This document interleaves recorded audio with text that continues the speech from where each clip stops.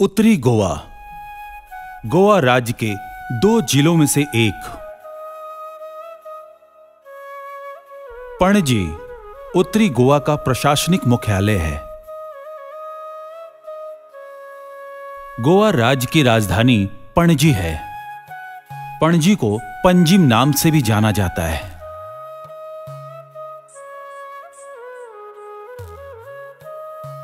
खूबसूरत समुद्र तटों के लिए उत्तरी गोवा बहुत प्रसिद्ध है।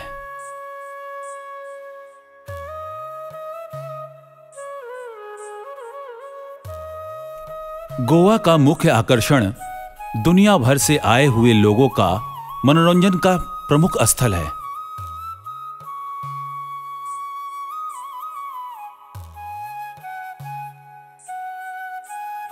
बागा बीच। प्रसिद्ध कलुंगर समुद्र तट के पास सुंदर समुद्र तट। समुद्र तट मछली पकड़ने वाले गाँवों से सटा हुआ है। वाटर बाइक पैराग्लाइडिंग और बोटिंग के अलावा यहाँ उपलब्ध कुछ लोकप्रिय गतिविधियाँ हैं।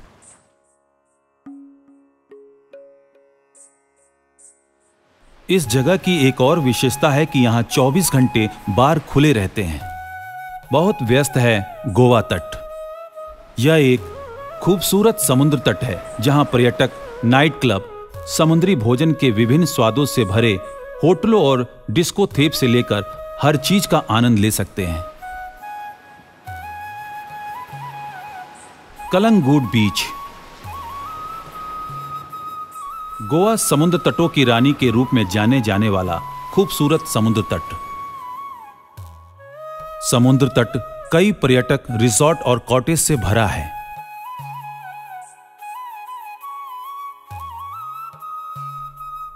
चौबीस घंटे खुले रहने वाला बार, रेस्टोरेंट, पूरी रात चलने वाली डांस पार्टी, शॉपिंग सुविधाओं के साथ पर्यटकों के लिए तन और मन का मनोरंजन करने का यहाँ प्रमुख साधन है।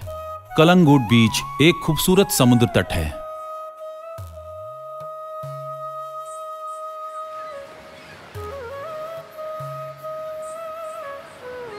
अगौड़ा किला और समुद्र तट। 1609 और 1612 के बीच गोवा में पुर्तगालियों द्वारा महान किले का निर्माण किया गया था। यह प्राचीन किला समुद्र तट पर स्थित है। यह पणजी से 18 किलोमीटर की दूरी पर मंडोवी नदी के तट पर स्थित है। अंगोडा बीच एक ऐसा बीच है जो किले से कलंगुट बीच तक फैला हुआ है।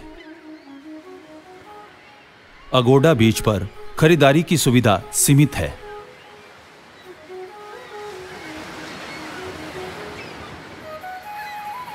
अंजुना बीच। यह बीच बागा बीच और कलंगूर के बीच उत्तर में स्थित है।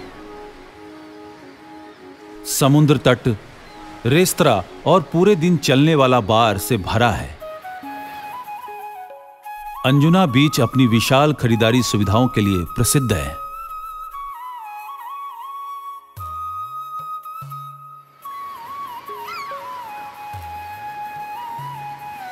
नाइट क्लब और डांस पार्टियाँ सभी रात के उत्साह में इजाफा करती हैं। कैंडोलिम बीच उत्तरी गोवा का एक और लोकप्रिय समुद्र तट। यह समुद्र तट अगोड़ा समुद्र तट से पैदल दूरी के भीतर है। यहाँ बहुत ही शांत समुद्र तट है। गोवा का एक और मनोहर और खूबसूरत बीच, यह कई पर्यटकों का पसंदीदा समुद्र तट है। पाँच सौ रुपये से शुरू होने वाला आवास उत्तरी गोवा समुद्र तट पर उपलब्ध है।